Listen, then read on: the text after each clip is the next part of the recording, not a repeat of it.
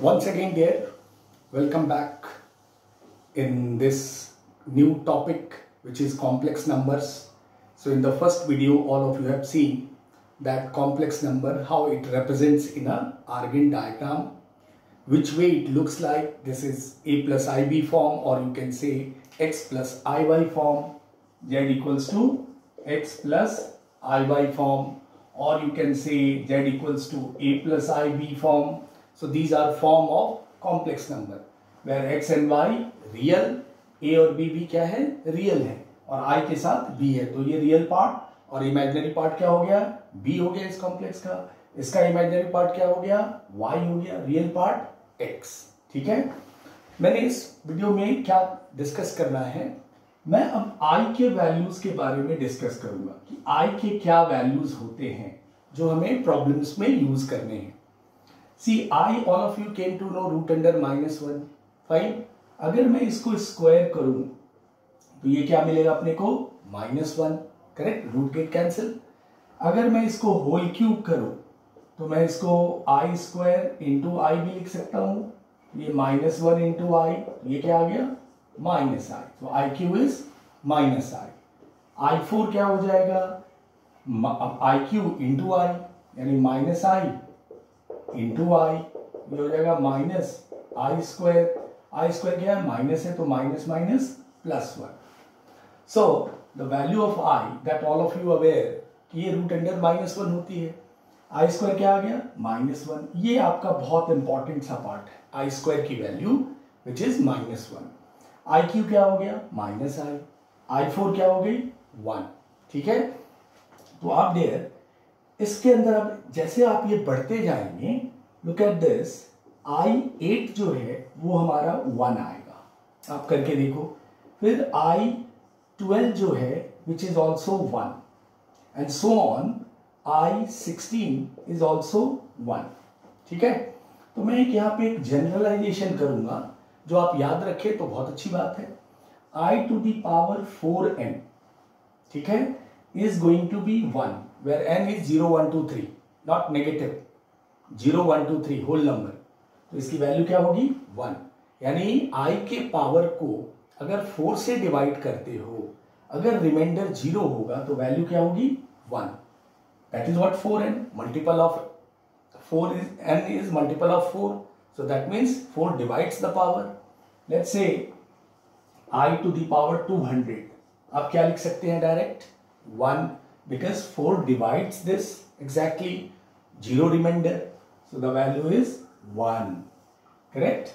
So, i to the power 4n is 1 in fact यहाँ पे reminder मैं ऐसे लिख देता हूँ कि ज़ीरो अगर रिमाइंडर है फोर से डिवाइड करने पे तो it value is going to be one अब आप देखो यहाँ पे, अगर मैं आई फाइव लू आई फोर के बाद आई फाइव तो आई मिलना है अपने को, क्योंकि वन आई फोर है इंटू आई आई ही आएगा i five and that means i to the power four n plus one करूँ तो ये मुझे क्या मिलेगा? आई यानी फोर से डिवाइड करने पे रिमाइंडर वन आ रहा है तो हमारा वैल्यू क्या है वो? आई है. Let's say i to the power twenty one if you divide by four remainder क्या मिली? वन तो इसकी वैल्यू क्या होगी? आई आप ऐसे भी समझ सकते हैं i to r twenty one है इंटू आई ये आई हो गया। ऐसे भी कर सकते हैं। ठीक है? आइए। नेक्स्ट में देखिए, अगर मैं i to the power six लू तो आई इंटू आई क्योंकि i to r five is i i to r six i into i क्या होगा? आई स्क्वायर आई स्क्वायर क्या है? Minus one so i to the power four n plus two is nothing but minus one यानी i के power को फोर से divide करने पे रिमाइंडर आपका टू मिलता है।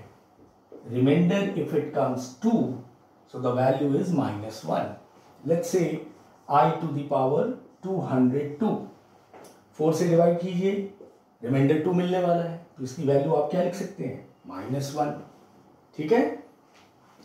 Last i to the power four n plus three which means मैं अगर आई टू दावर सेवन की बात करूँ i टू दी पावर 7 तो आई टू आर सिक्स तो माइनस वन आ चुका है। इंटू आई ये माइनस आई होगा। यानी अगर फोर एन प्लस थ्री किया तो यहाँ क्या आएगा? माइनस आई और रिमाइंडर क्या होना चाहिए? थ्री अगर फोर से आई के पावर को डिवाइड करते हैं ज़ीरो रिमाइंडर होता है तो वैल्यू क्या होगी? वन वन रिमाइंडर मिलता है तो वैल्यू क्या होगी?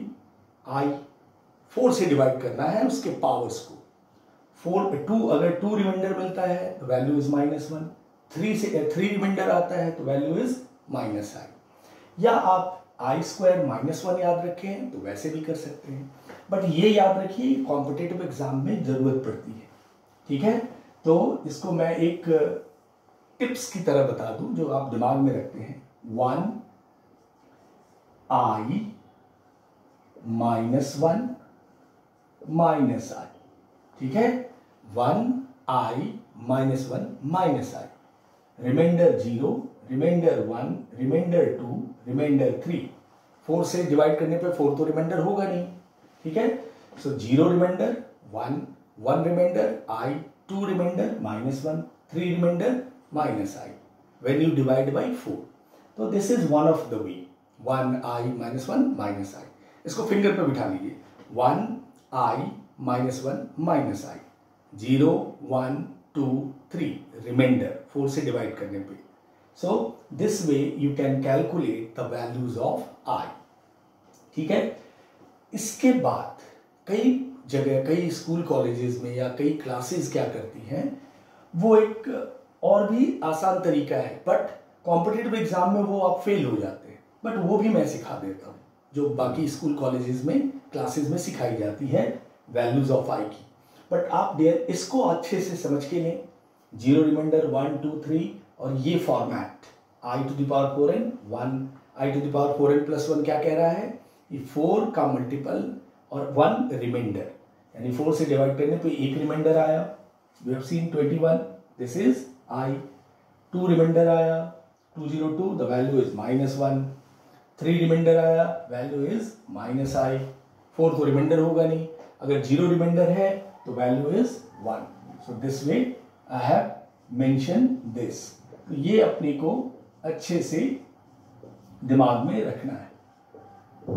ठीक है dear now the question is what else क्या दूसरी मेथड है जो दूसरे क्लासेस वाले प्रेफर करते हैं? या कॉलेजेस में कभी कभी टीचर सिखाते हैं? तो वो भी मेथड आप देख लेंगे।